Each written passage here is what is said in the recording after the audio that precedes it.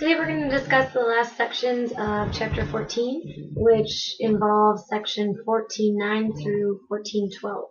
So uh, first let's talk about the effect of structure on acid-base properties. And so if we look at properties of an acid, two things that determine the properties of an acid are the strength of the bond and the polarity of the bond. And so for example, let's look at uh, a few examples of this. We look at hydrogen halides. Remember the halogens are fluorine, chlorine, bromine, iodine, that group 7. And so hydrogen halides are HF, HCl, HBr, and HI. Well, hydrofluoric acid is a weak acid due to the strength of the H to F bond. So up top, these are listed in order of polarity. So this is the most polar. And so we would assume that it's going to be a really strong acid. But in actuality, hydrofluoric acid is really weak because it's such a strong bond that it doesn't really want to break apart. And so it's really hard to get the H to separate from the F, making it a weak acid. Another example are oxyacids. Oxyacids have the general formula H to O to X, X being some other compound or element. And the acid strength will increase as the number of oxygens attached to the central atom increases. So as we add more oxygens to this central atom, um, we're increasing the strength of the acid. Part of that is because oxygen atoms are electronegative, and so they will pull the electrons away from that O to H bond, um, polarizing it and weakening it. And so then we you know, more easily get an acid or get those to dissociate. Another example um, along the same lines as oxyacids are hydrated metal ions. We talked about this in the previous section with the aluminum 3+. Um, so the acidity of the water molecules that are attached to the metal ion increases. Uh, it is increased by the attraction of electrons to the positive metal ion. So like we talked about before, the greater the charge, the more acidic the hydrated ion is. And so like Al3 plus is a very high charge and so it produces an, an acidic solution. There is a correlation between electronegativity of the X and the acid strength for oxyacids. And so that's what we're going to look at next is the electronegativity of that X. And so we'll look at this in section 1410. Okay, so acidic oxides depend on the nature of that O to X bonds. Remember we talked about the H to O to X was the general form. So there are two situations that you can have. Uh, if X has high electronegativity, um, then that means that the O to X bond is going to be really strong and covalent. So it's really likely to break apart. So when dissolved in water, the O to X is going to remain intact. So this bond is going to be really strong. But then what's going to happen is that this bond is going to be weak and it'll break, thus producing uh, a proton or that H+. plus. So we call these acidic oxides because they're releasing protons, so they're producing the, the H+. plus.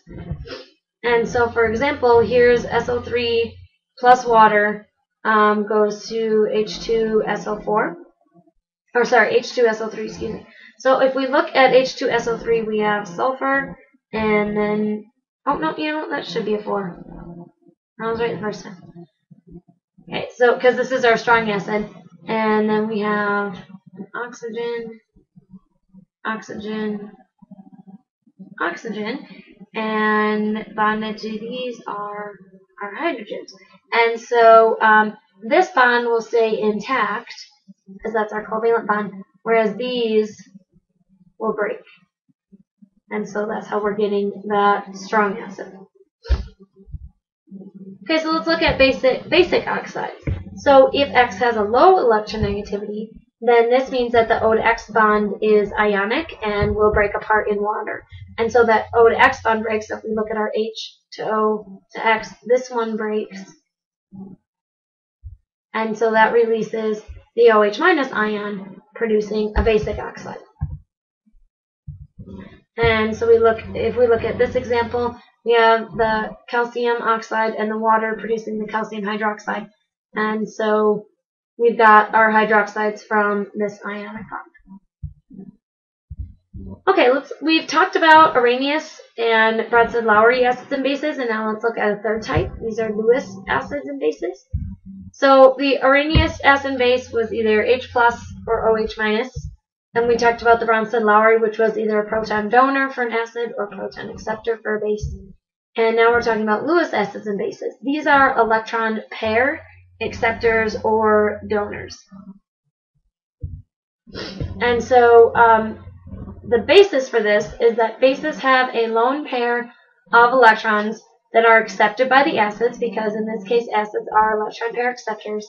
Um, and so they have an empty atomic orbital, so they'll take on the lone pair that the bases contain. Uh, this is convenient because not only does it include Bronsted-Lowry acids and bases, but it also covers reactions that don't involve Bronsted-Lowry acids. So it's it covers a lot of things that wouldn't be talked about before.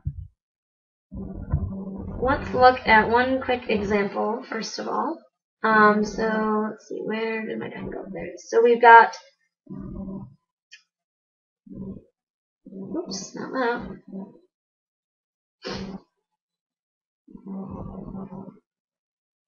So we have, let's see, boron trifluoride. BF3, and then we're reacting with the ammonia ion. And so this is the Lewis acid. And because the ammonia ion has this lone pair, this is the Lewis base. And so what's going to happen is that the Lewis acid is going to accept that lone pair. And so we end up getting boron, fluorine, fluorine, another fluorine. Oops, those should typically not go there. Okay, and then that lone pair creates a bond between the, the BF3 and the ammonia. So H, H, H. So now we've got a compound. So Lewis acid accepts the lone pair. Lewis base contains the lone pair. So let's look at a few examples. So for each reaction, identify the Lewis acid and the Lewis base. Okay, so here we've got nickel 2 plus and 6 NH3. So if sometimes it's easy to draw the Lewis structure. So we have six of these things, and we know ammonia has that lone pair, and then our three hydrogens. And so since this one has the lone pair, this is the Lewis base, and this is the Lewis acid. And it produces this nickel and creates that bond between our nickel and our 6 ammonia. Look at the next one. Okay, here we have H plus plus H2O goes to H3O. So if we draw Lewis structures, that's just A plus, H plus, excuse me. Uh, water, we have two lone pairs on the oxygen, and then our two hydrogens. So as you can see with our lone pairs, this is our Lewis base, and this is our Lewis acid, and we form the hydronium ion. So we have our our oxygen, excuse me, hydrogen, hydrogen, hydrogen, and we know that that's becoming A+. plus. And so the Lewis acid accepted the lone pair from the Lewis base. Okay, so last but not least, let's talk about just kind of overall summary of how to solve all these acid-base problems. Okay, so steps for success. Don't memorize a particular way to do the problem. Each problem is different. Although it may follow a similar pattern, you need to evaluate each problem individually. So the first thing to do is list the major species in the solution. This is going to help you decide, you know, is it a strong acid, strong base, weak acid, weak base? What does that mean as far as things dissociating? So it's, it's a good first step. Okay, then look for reactions that can be assumed to go to completion. So for example, strong acids and strong bases will completely dissociate. So for the reactions that are assumed to go to completion, determine the concentration of the products and write the major species in solution after the reaction. Okay, then look at each major component and decide if it's an acid or a base.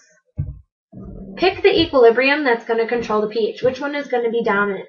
And you can use also use dissociation constants to decide on that dominant equilibrium. Okay, so you can look at K and Kb values. Um, so within that whole process, you're going to write the equation for the reaction and the equilibrium expression, so Ka and Kb. You're going to use the ICE to solve for x. Always make sure you check your approximation. And if it doesn't work out, use the quadratic formula. Um, and then calculate pH or whatever else is required, concentrations, etc. Okay, so with these steps, think through each problem. You should have no problem with that basis.